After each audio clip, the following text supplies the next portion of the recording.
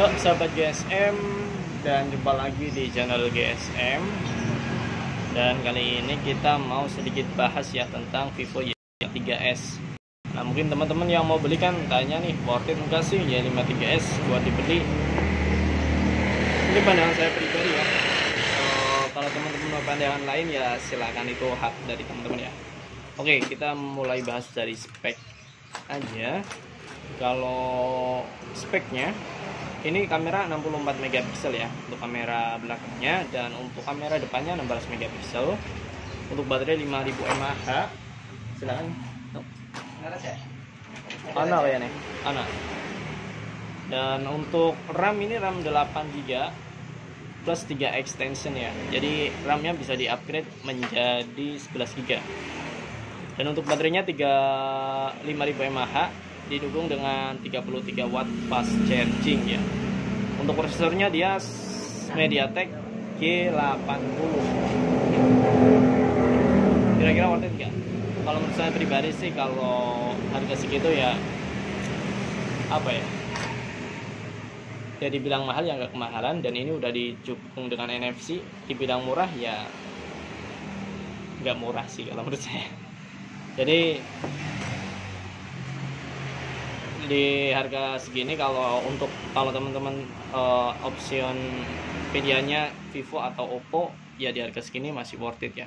Cuma kalau untuk brand-brand lain kayak Poco, Realme dan Xiaomi nah di harga segini mungkin kita bisa dapatkan prosesor dan spek yang lebih. Itu sih.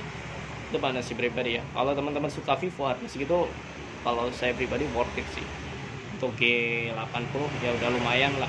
Ya di Smooth Ultra didukung dengan RAM 8 per 3 8 plus 3 GB extension ya.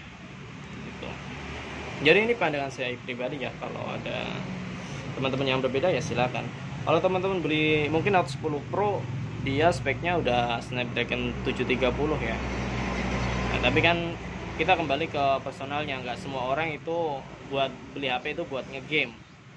Ya ada yang dia lebih suka bodinya. Nah, terus terang saja saya suka nih untuk body Vivo dari Y53s ya. Untuk bodinya keren sih. Untuk ini salah satu uh, poin yang saya suka sih dari bodinya. Emang dia ya keren sih emang di harga segitu ya speakernya dia masih belum stereo ya masih satu di sini. Udah type C. Dan kalau teman-teman beli buat kayak buat ya buat media sosial doang terus uh, game juga nggak terlalu lah. Foto-foto 64 megapiksel masuk lah masih bagus kameranya. Uh, dan teman-teman juga suka dengan desainnya seperti ini ya. Lebih lebih suka ke desain kadang kan ada nggak uh, suka bentuknya. Nah kalau teman-teman suka bentuknya seperti ini ya harga segitu sih worth it ya. Cuma kalau teman-teman beli buat main game main game ya tentunya di harga 3699 masih ada HP yang speknya di atas Vivo Y53s ini ya. Uh, dan udah NFC juga. Jadi begitu sih. Jadi tergantung. Kembali ke teman-teman beli HP-nya itu buat apa? Kalau mau buat game ya di harga segitu bisa dapet yang lebih untuk chipsetnya ya. Kalau teman-teman cuma buat media sosial whatsappan doang harga segitu mah ya ini masuklah masih worth it buat dibeli. Jadi gitu ya semoga bermanfaat lah buat teman-teman yang sedang cari HP di harga 3 jutaan. Oke dan sampai jumpa di video selanjutnya